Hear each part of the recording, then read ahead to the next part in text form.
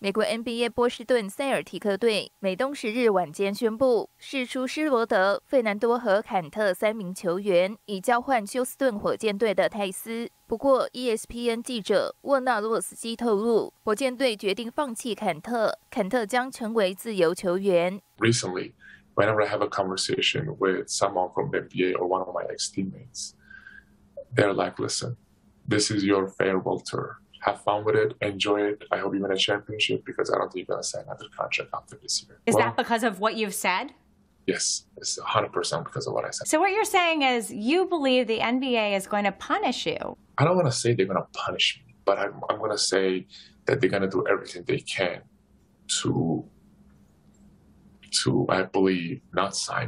原是塞尔提克队中锋的坎特，近日多次透过球鞋与社群媒体为中国人权发声，呼吁中共政权停止迫害台湾和香港人民，揭露中共迫害西藏人、维吾尔人、基督徒以及法轮功学员等群体。